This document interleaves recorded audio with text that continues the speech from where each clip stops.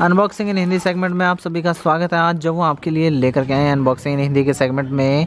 यहाँ पर देख सकते हैं M I polarised pilot sun glasses बिल्कुल आप सही सुन रहे हैं।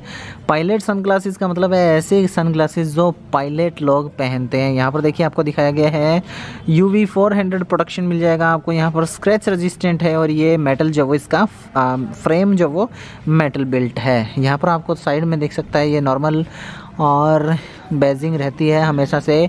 यहाँ पर देखिए आपको क्या दिखाया गया है M I polarise sun glasses और इसका आपको दिखाया गया है। इसके मॉडल के बारे में क्वांटिटी कितनी है, इसका आपको प्राइस दिख रहा होगा।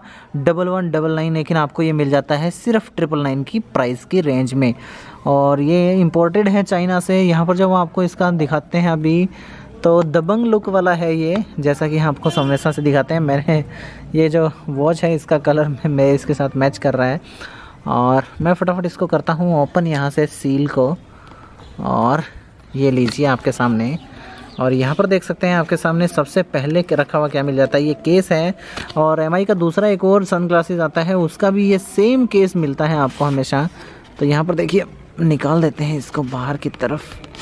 काफ़ी टाइट फिट जो है वो इसका दिया गया है। अंदर की तरफ़ बॉक्स में और कुछ भी नहीं मिलता है आपको। तो यहाँ पर जो आपको ये देख सकते हैं, एक कैरी केस मिलता है इसका, या फिर पाउच बोल सकते हैं हम लोग इसको। और ये काफ़ी अच्छी क्वालिटी का है वैसे बाकी इतनी सुरक्षा तो नहीं दे पाएगा, इसको इतना दबता है ये दबाने से। लेकिन यहाँ पर देखिए, इसके अंदर एमआई की ब्रांडिंग दी गई है, इसको आप यहाँ से ओपन कर सकते हैं। और हल्की सी सुरक्षा आपको यहाँ पर मिल जाती है कि आपको ये मतलब रखे हुए जल्दी से आसानी से ख़राब नहीं होगा। अंदर की तरफ़ आपको मिल जाता है कि ये क्लॉथ जो वो थ्री माइक्रोफाइबर जैसा क्लॉथ्स जो वो आपको मिल जाता है, इसकी क्लीनिंग के लिए और सामने रखा हुआ मिल जाता है ये चश्मा। बाकी जब वो आगे की तरफ़ बढ़ते हैं, पायलट सन क्लासेस बताया गया है इनको। ये वाला वेरिएंट है, इसका देख सकते हैं आप, इसका मॉडल जो आप देख सकते हैं सामने बिल्कुल।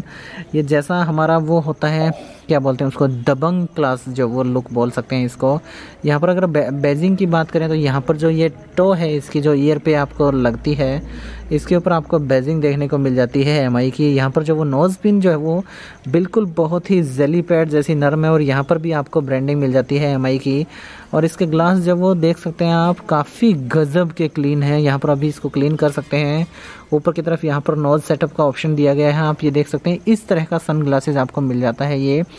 परचेज़ करना चाहें तो लिंक डिस्क्रिप्शन में है और अगर आपको ये वीडियो अच्छी लगी तो लाइक करना शेयर करना अपने दोस्तों के साथ और चैनल को सब्सक्राइब करके घंटे तो ज़रूर दबा लीजिए ताकि ऐसी वीडियोस फ्री में हमेशा आपको और मिलती रहे।